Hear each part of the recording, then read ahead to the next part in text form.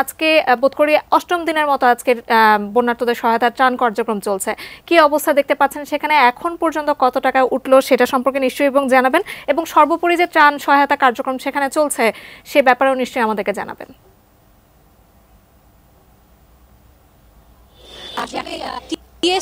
বা ঢাকা বিশ্ববিদ্যালয়ে না আসলে বোঝা যাবে না যে বদলে যাওয়া বাংলাদেশের রূপটা আসলে কতটা সুন্দর।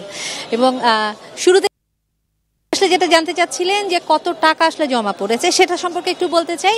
এই ব্যাপারটিতে কিন্তু প্রতিদিন সন্ধ্যাবেলা বৈষম্যবিরোধী ছাত্র আন্দোলন শিক্ষার্থী যারা আছেন, তারা কিন্তু আসলে সারাদিনে কতটা জমা পড়েছে, তার একটা হিসাব কিন্তু দিন শেষে আসলে সাধারণ মানুষের জন্য দিয়ে থাকেন। এবং এখানে আসে যে আপুদের দেখতে পাচ্ছেন, যারা বসেছেন, তারা কিন্তু সকাল থেকে এখানে বসেছেন এবং সকাল থেকে আসলে ফান্ড কালেকশনের যে বিষয়টি, সেটি ওনারা করছেন। ওনারা আসলে ভালো বলতে পারবেন আজকে যে সকাল থেকে আসলে আজকের পরিস্থিতিটা কি। আপু থেকে একটু জানতে চাওয়ার। আপু, সকাল থেকে আজকে অষ্টম দিন, সারাদিনই আসলে চলছে ফান্ড কালেকশন আজকের পরিস্থিতিটা যদি আপু, আজকে অন্য দিনের তুলনায় একটু কম, কিন্তু একেবারে কম না। অনেকটা আছে, এখনও আমাদের কাউন্ট করা হয় নাই। ডোনাররা আসতেছে। আমাদের সন্ধ্যায় কাউন্ট করলে বলা যাবে আসলে অ্যামাউন্টটা কত। যাকে যেটা শুনছিলেন যে সন্ধ্যার সময় কাউন্ট করেই আসলে বলা যাবে যে, আজকের দিনের জন্য অন্তত আসলে কি পরিমাণ ফান্ড জমা পড়েছে।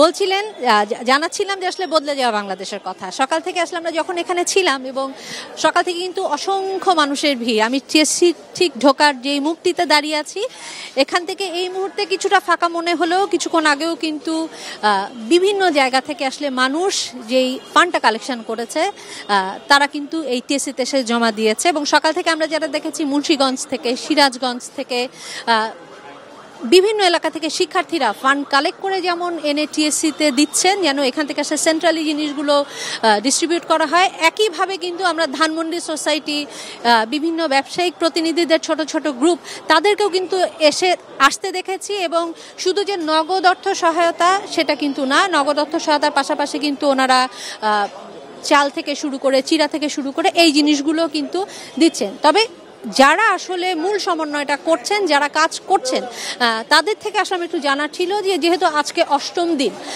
পরিস্থিতিটা আসলে কি কিংবা ঘাটতি আছে কোন জায়গায়? ওনারা আমাদেরকে আসলে যেটা জানালেন যে এই মুহূর্তে কিন্তু যেটা প্রয়োজন সেটি হচ্ছে নগদ অর্থ সহায়তা উঠছে প্রচুর কাপড়ও উঠেছে।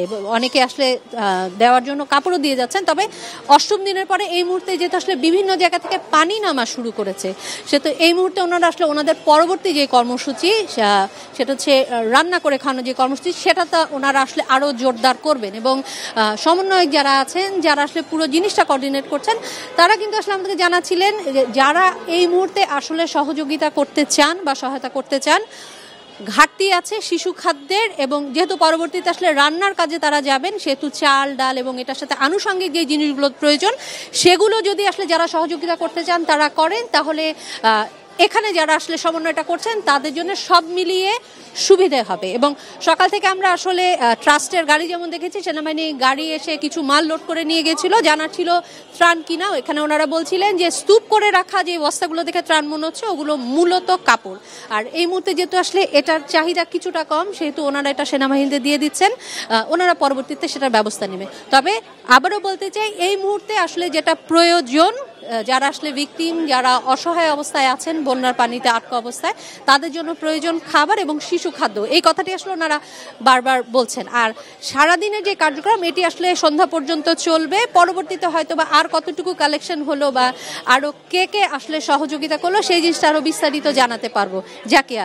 অবশ্যই কিশোর অসংখ্য ধন্যবাদ আপনাকে। পরবর্তী নিশ্চয়ই আমরা আবার আপনার সঙ্গে সংযুক্ত হব। টিএসসি থেকে ত্রাণ কার্যক্রম সহায়তার যে কার্যক্রম চলছে, সেখানকার বিস্তারিত অবস্থা জানতে সহকর্মী কিশোর জাহান আমাদের সঙ্গে সংযুক্ত হয়েছিলেন